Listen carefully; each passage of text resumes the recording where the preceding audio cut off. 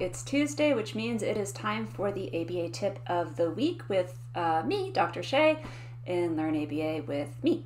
Uh, what we're going to talk about today is what I'm referring to as what the function.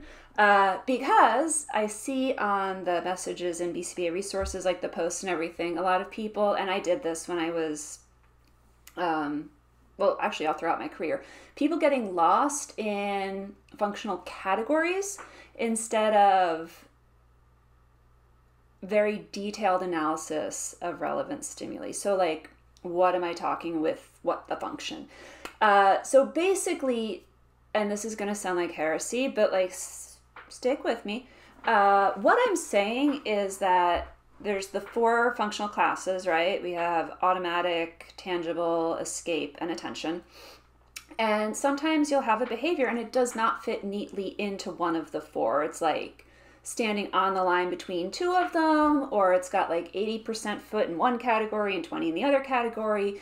And it's easy to get stuck trying to like really relentlessly figure out which one it's going to fit neatly into. And what I'm saying is that it doesn't really matter um, and also, it may never neatly fit into one of the categories.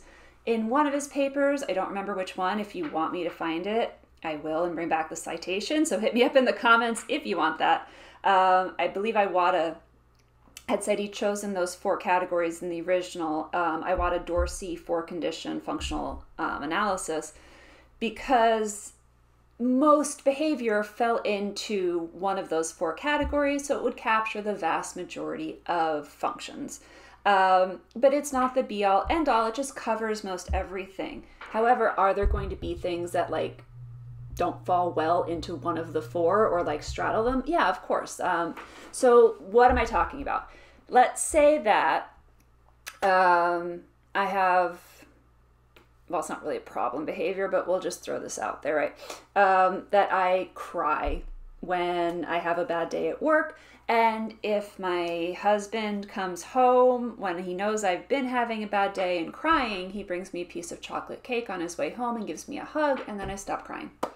Um, so we want to replace my crying behavior with something else and would like to get a functional reinforcer. So, like, is that attention for the hug or is it tangible for the cake? Or is it equally both? Or how do I figure out what exactly is going on with what? Right? So, this is what I mean when I say like what category it fits in isn't super important as long as the replacement behavior gets the same kind of thing. So, whatever my replacement behavior is, as long as it results in me feeling better and ceasing the crying, it'll work out. So if in your head you're like, well, what if someone just gave you cake? What if you're crying and you have cake in the house when you have a bad day? Does that make you stop crying? The answer is no, then it's attention, right? Um, so that's an easier one. It's kind of both, but you could spend really a lot of time figuring this out. And ultimately, you just have to say, like, if I replace the attention component with a robot, would it work? In this case, no, it won't work. I need the hug, and it's nice that someone thought of me to bring me cake. Like, the cake is a bonus. Um, another example of when this kind of happens, you know, and it's a fun thought experiment, but functionally it's not that important, is negative reinforcement. Um, it shows up all the time, confusing it with like punishing stimuli. Or, like, let's say I have a headache, you give me a Tylenol, I take the Tylenol, it makes my head feel better. Uh, is that negative reinforcement via Tylenol? Is it a, well, yes, it is. Uh, but is that tangible for the Tylenol? or is it automatic for removing the headache? Um, and we could argue for hours about that. But in the end, does it matter? Um, and this is where I kind of like figure out what actually matters and which parts are important. If one part is acting more like a CMOT, a condition transitive motivating operation, um, meaning that I just need it to get something else. It's not the terminal reinforcer, aka what I'm really looking for.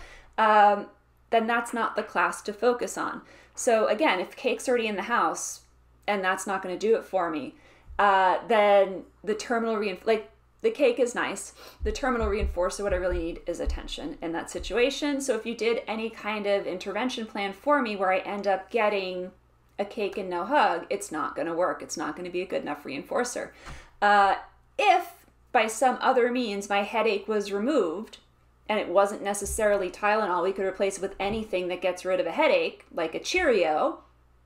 Would I take Cheerios instead of Tylenol? Like, yeah, absolutely. I just want the headache gone. That's the terminal thing, right?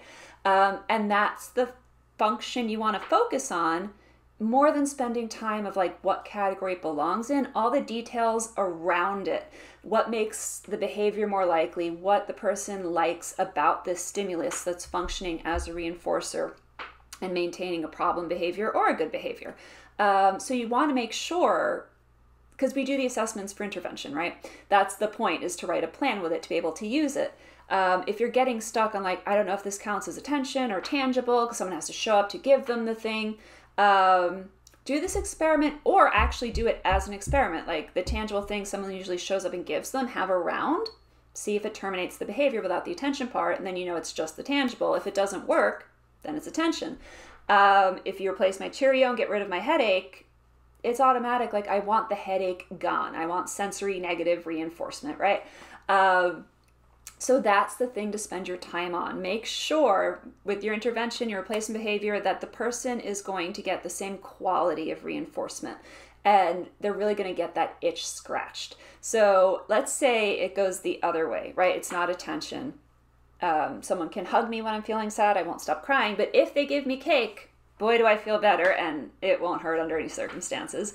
Uh, but if someone shows up and says like hey it seems like you're really sad today and could use something to boost your mood i'd be like oh my gosh yes that would be wonderful please. And they hand me like a cucumber. I mean i'd be confused. So there's that but like it's not going to make me feel better. It's not going to make me stop crying.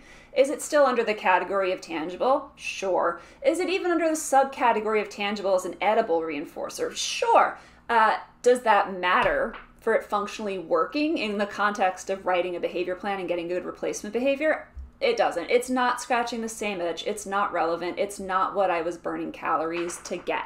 So, my advice would be if you get stuck, like don't worry too much about it if it's one foot in one, one foot in the other, or what category it necessarily is. Pick the one that you think it's dominantly controlled by and then spend all of your energy focusing on how they can get that same experience with a more appropriate behavior. That's the important bit.